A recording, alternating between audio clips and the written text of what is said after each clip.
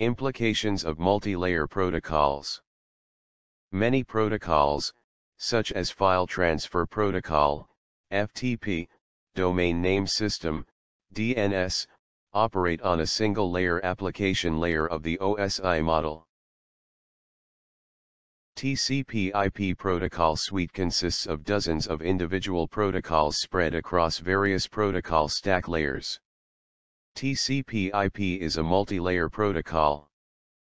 Encapsulation is an important benefit of multi-layer protocol. Communication between web server and web browser. Web server to web browser data transfer, which is HTTP encapsulated. SSL encryption added to the communication to provide additional confidentiality.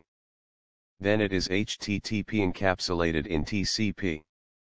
TCP is encapsulated in IP, and, IP is encapsulated in IPsec then packet is encapsulated in Ethernet.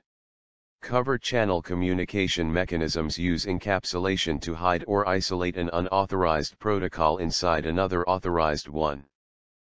For example, if a network blocks the use of FTP but allows HTTP, then tools such as HTTP tunnel can be used to bypass this restriction. Distributed Network Protocol version 3, DNP3, is a multi-layer protocol that is used between components in process automation systems in electric and water companies.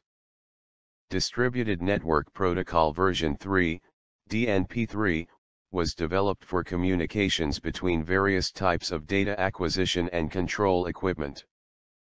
Distributed Network Protocol version 3, DNP3, plays a crucial role in supervisory control and data acquisition, SCADA, systems. Benefits of multi-layer protocol are Wide range of protocols. Encryption can be integrated. Supports flexibility and resiliency. Drawbacks of multi-layer protocol are Covert channels. Filters can be bypassed. Network segment boundaries can be overstepped.